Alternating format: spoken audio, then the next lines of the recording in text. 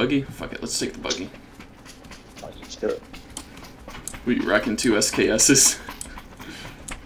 Yes. I literally am.